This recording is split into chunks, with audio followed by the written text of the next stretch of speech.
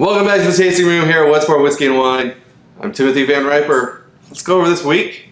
This week we're celebrating the legacies as it's Bourbon Heritage Month. I'm gonna get you going with uh, a legacy from you know some of the oldest distilleries. There's over 600 years of history just here on the bar.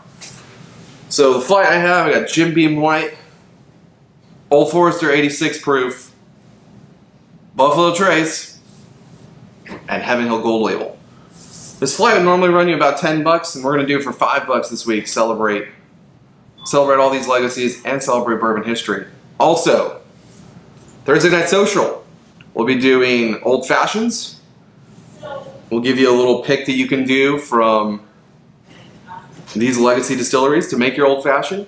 We'll also have some special legacy flights going on that night as well, alongside with the flight of the week. So hopefully you can join me for that. Hope you're staying safe. Hope you're staying positive. And we'll see you here soon in the tasting room at Westport Whiskey and Wine. Cheers, y'all.